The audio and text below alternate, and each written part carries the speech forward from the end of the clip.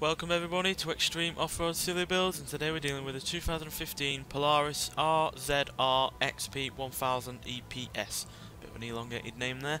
Uh, but yeah, it has a 330 horsepower, 195 pounds-feet of torque, 1.2 litre turbocharged twin-cylinder engine and the car itself weighs 1,496 pounds. It can do 0 to 60 in 4.888 seconds and 0 to 100 in 8.383 seconds and do 130 mile an hour which is a lot faster than it was originally because for whatever reason it only had one gear. But yeah, it also has, it might well weigh a bit more than it did originally, but it has three times the horsepower, so it more than makes up for it. Now it's off-road tyres, but it already had all-wheel drive and it already had off-road suspension. And if you've seen the car before, you'll know, yeah, couldn't really improve upon that with an upgrade. So uh, yeah, this uh, should do okay. Yes, it weighs not all that much, but it's got a high ride height, it's got that off-road suspension, got those off-road tyres, got all-wheel drive standard, and 330 horsepower out of a car that doesn't even weigh 1500 pounds is pretty decent. Obviously, it's not the most we've had, but it's still a pretty decent amount of power nonetheless. So uh, yeah, let's see what it can do.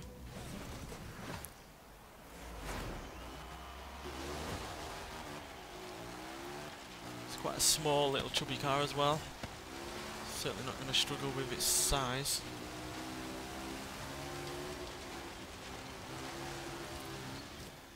But when I've been uh, racing this beforehand, it has had a tendency to roll over, over when it goes over a jump.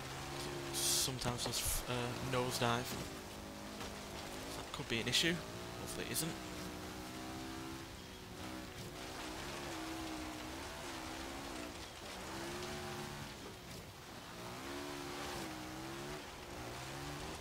Everything okay so far. How will it deal with water? Pretty decently. Like I said, it does have a high ride height, so it's got that up on uh, certain low riding supercars, etc. Other low riding cars in general, to be honest. That is the main Achilles heel of a lot of cars on this uh, series. It's the high, the uh, low ride heights. Did I miss that? Oh, thought I did. Was I just about registered?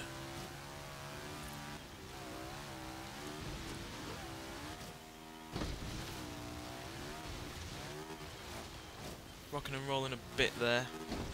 Somehow it stayed on the ground. Oh, or didn't crash after landing.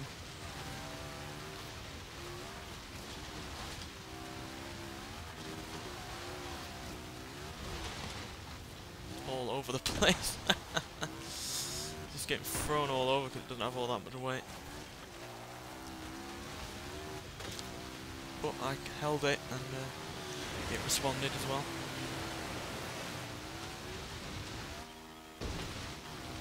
Certainly loves to jump in the air.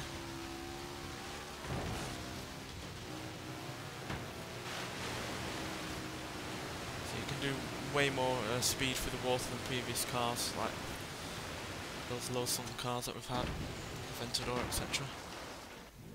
Damn it, I hate it when I do that. Clipping those fences really slow you down if you're going through all of it.